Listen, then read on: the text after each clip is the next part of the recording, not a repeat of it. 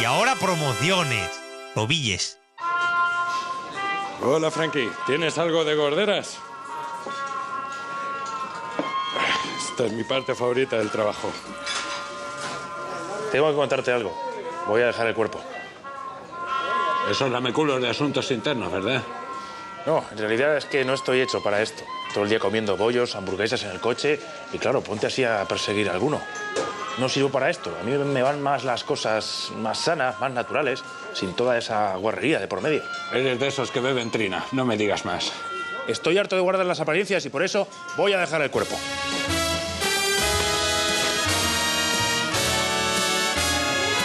Bueno, eso y que me ha tocado una de 14. Y hay que vivir la vida a tope. Para eso que estar en forma.